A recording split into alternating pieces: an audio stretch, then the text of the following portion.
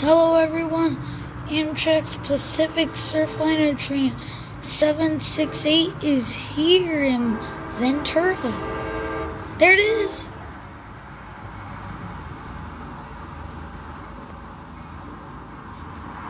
With the V-Liner.